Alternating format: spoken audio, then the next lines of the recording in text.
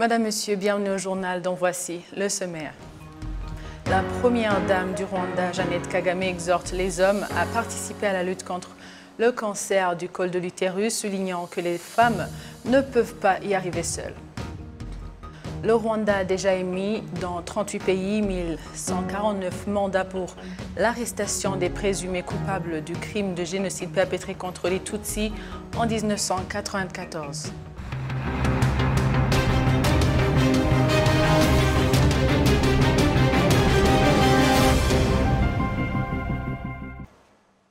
Bonsoir et bienvenue au grand rendez-vous d'actualité de la télévision rwandaise.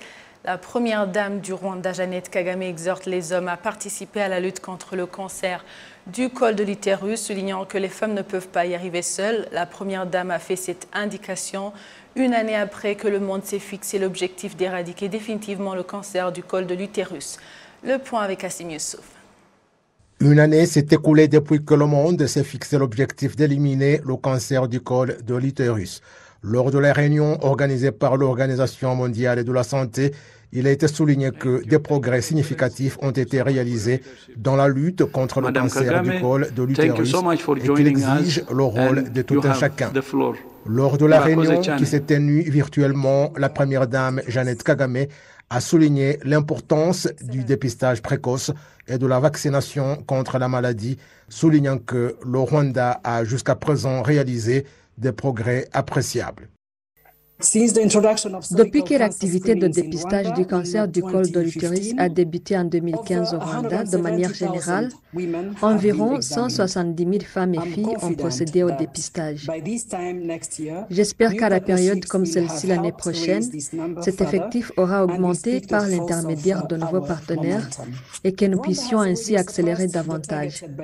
Le Rwanda a déjà dépassé le niveau qui prévoit les objectifs de l'Organisation mondiale de la santé où au moins 90% de jeunes filles de moins de 15 ans doivent être complètement vaccinées contre le cancer du col de l'utérus.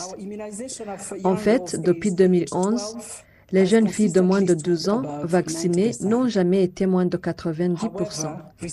La recherche montre toutefois qu'il est également important de vacciner de jeunes garçons afin de réduire la propagation du virus.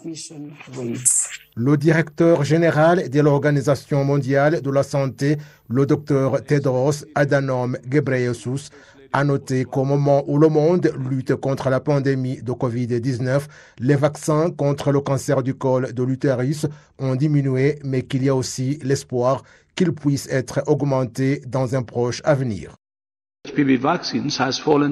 Les vaccins contre le cancer du col de l'utérus ont diminué jusqu'à 13% par rapport à 15% avant la pandémie. Il est à noter cependant qu'il y a des preuves du progrès appréciable réalisé. D'autres pays ont l'année dernière incorporé dans leur programme la vaccination contre ce cancer, notamment le Cameroun, le Cap-Vert, Salvador, la Mauritanie, le Qatar, Sao Tomé et Principe et Tuvalu. L'OMS a provisoirement approuvé un autre vaccin dénommé Secolin, fabriqué par la société Innovax, et nous espérons que ça va augmenter le nombre de vaccins tout en réduisant le prix. Bien que les hommes ne soient pas concernés par le cancer du col de l'utérus, ils peuvent facilement propager son virus et la première dame Jeannette Kagame s'est basée sur cette situation pour exhorter les hommes à jouer un rôle dans l'éradication de cette maladie. Réaliser un objectif aussi important comme celui-ci exige les efforts et la volonté des femmes et des hommes. Nous ne pouvons pas atteindre cet objectif aussi longtemps que les femmes seules portent ce fardeau. J'interpelle encore une fois les hommes à collaborer avec nous dans cette bataille. Selon l'Organisation mondiale de la santé OMS, pour éradiquer le cancer du col de l'utérus, les pays doivent vacciner au moins 90% des filles avant l'âge de 15 ans et qu'au moins 70% des femmes entre 35 et 45 ans puissent savoir leur situation en procédant au dépistage sûr et que 90% puissent avoir accès au traitement. Le Rwanda a déjà émis dans 38 pays 1149 mandats pour l'arrestation des présumés coupables du crime de génocide perpétré contre les Tutsis en 1994, les organes judiciaires du Rwanda indiquent que malgré les difficultés qu'on trouve dans la poursuite des personnes impliquées dans le génocide perpétré contre les Tutsis en cavale un peu partout dans le monde, les pays seront toujours exhortés à collaborer avec le Rwanda pour résoudre ce problème. Les détails avec Kassim. La conférence internationale sur la justice liée au génocide perpétré contre les Tutsis 25 ans après se focalise sur la justice rwandaise face aux défis du contentieux du génocide perpétré contre les Tutsis, justice conventionnelle et les juridictions gachacha, la justice pénale internationale et le contentieux du génocide devant le TPIR. Le président de la Cour suprême, le docteur Faustin Nezediayo, a fait savoir que même si des efforts ont été déployés dans la poursuite des personnes impliquées dans le génocide perpétré contre les Tutsis, l'on remarque encore des problèmes fondés sur le manque de bonne volonté de certains pays, mais que la justice du Rwanda ne se découragera jamais dans le fait de mettre en place une collaboration avec d'autres pays. Des démarches et contacts continuent en interpellant les pays à plus d'engagement dans la poursuite des suspects qui se trouvent sur leur territoire. Sinon, de les transférer euh, au Rwanda pour répondre de leurs actes. Sur ce dernier point, il y a lieu de mentionner que pour quelques transferts qui ont été faits, le système judiciaire rwandais s'est doté de moyens permettant que le jugement de ces dossiers soit fait dans le respect des normes internationales contenues dans le dispositif légal en, en place. La poursuite des auteurs du génocide, où qu'ils se trouvent dans le monde, est indispensable. Il est indispensable afin de donner justice aux victimes et d'éradiquer l'impunité qui souvent donne cours à d'autres comme l'a bien cité, l'a bien euh, noté à M. Julet, au maître Julet. D'où la nécessité d'une collaboration étroite entre tous les acteurs, tant nationaux euh, qu'internationaux.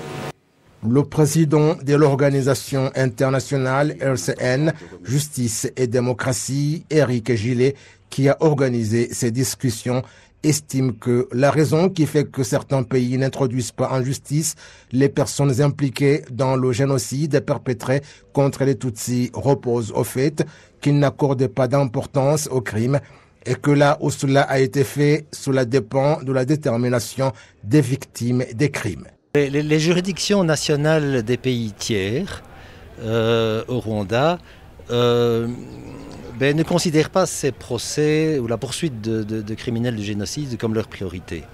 Euh, ces pays ont déjà un arriéré judiciaire important et considèrent qu'ils n'ont pas de ressources a priori à consacrer à cela. Là où des procès ont eu lieu, c'est parce que les victimes ont été très actives. Euh, c'est le cas de, la Belgique, c'est le cas de la France, c'est le cas d'autres pays, où les victimes ont constitué parfois même des comités de victimes pour euh, s'organiser entre elles, pour euh, contacter des avocats et déposer des plaintes, et puis par après poursuivre. Les organes judiciaires du Rwanda indiquent que depuis 1998, des efforts ont été déployés dans la sensibilisation des pays hébergeant les personnes présumées coupables de crimes de génocide perpétrés contre les Tutsis et que des accords de partenariat pour l'extradition des présumés coupables de ces crimes ont été signés, mais qu'il s'agit d'un processus qui se poursuit. igikorwa rero ni uko dukomeza gukorana mu rwego rw'ubutabera mu bufatanye n'inzego Nous allons continuer à travailler avec les organes judiciaires des pays qui les hébergent, collaborer avec leurs organes en cherchant comment signer avec les pays qui les hébergent des accords d'extradition des criminels tout en poursuivant des discussions avec les pays dans lesquels nous pensons qu'ils résident.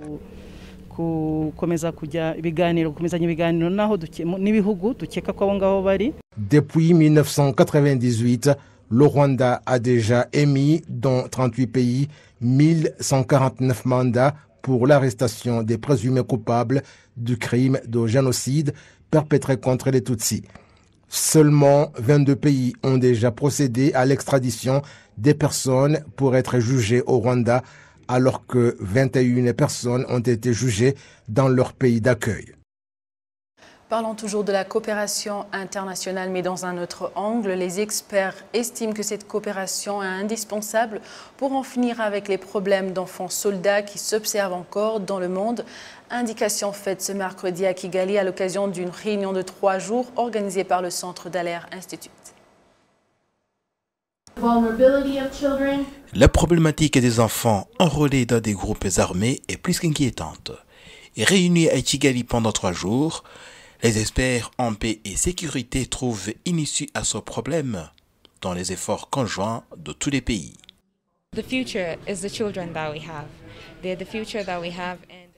L'avenir appartient à nos enfants. Dans mon pays, le Nigeria, leur avenir est compromis par les groupes armés, une menace mondiale. Le Rwanda a connu un passé sombre, mais aujourd'hui il s'est redressé. C'est un exemple qui peut être imité par d'autres pays comme le Nigeria et le Mozambique. Il pourrait en trouver un moyen de surmonter ces défis.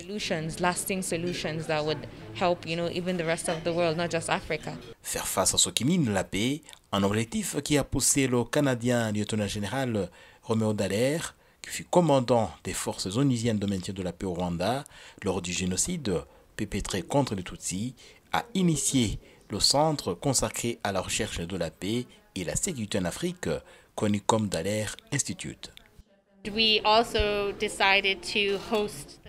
Nous avons jugé bon d'organiser ces échanges afin de donner une occasion supplémentaire d'examiner cette problématique. C'est pour que le monde entier n'oublie pas qu'il existe encore un grand nombre d'enfants qui subissent encore la violence. La réunion se tient au Rwanda, siège de notre centre d'excellence, et nous sommes convaincus que le Rwanda nous permettra de rendre notre vision une réalité mondiale. Le porte-parole des forces rwandaises de défense, le colonel Ronald de Vanga, indique que les forces rwandaises se retrouvent maintes fois en face des situations alarmantes où les enfants sont exploités par les groupes terroristes. Cet engagement est pour nous d'une grande importance parce que nous nous retrouvons souvent dans des situations où le sang des enfants est une loi. C'est le cas au Darfour, en Centrafrique et au Mozambique. C'est un impératif pour nous. Nous devons protéger les enfants et veiller à leur liberté dans des périodes de troubles. Et tous les signataires de ces accords devraient les respecter.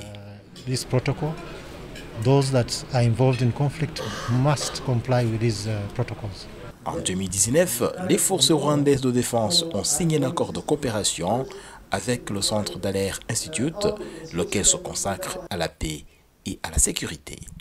Jean Damascène Manichimwe pour la TV rwandaise. Les parents des enfants qui sont nés d'une manière prématurée apprécient ce que l'État fait dans le cadre d'assurer le bien-être de leurs enfants ainsi que les docteurs qui leur ont toujours donné l'espoir que leurs enfants vivront pendant longtemps. Le récit suivant nous en dit plus. À l'hôpital de Kachiru, dans le district de Gassavo, les cas d'enfants qui sont sous soins intensifs dans les couveuses concernent les enfants nés avec 700 grammes ou jusqu'à 1 kg, 300 grammes, comme l'indique Noëlla qui dirige ce département. Certains bébés ont des problèmes respiratoires et ont besoin d'oxygène et d'autres appareils pour aider leurs poumons à fonctionner. Il n'est pas facile d'assurer à une personne que l'enfant vivra, mais nous donnons des témoignages d'autres bébés nés dans les mêmes circonstances, mais qui ont vécu pendant longtemps.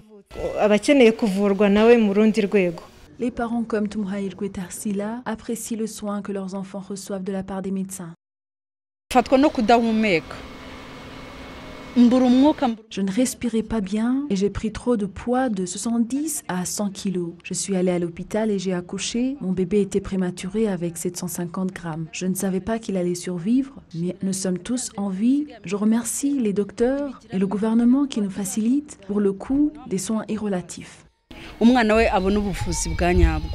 Le directeur du département de la santé maternelle, infantile et communautaire au centre biomédical du Rwanda indique que les infections des voies urinaires et l'hypertension artérielle sont les principales causes des naissances prématurées, mais qu'il existe des moyens pour éviter ce problème. L'année dernière, au Rwanda, il a été enregistré 9600 naissances prématurées, qui représentaient 3,1% de tous les nouveau-nés de cette période.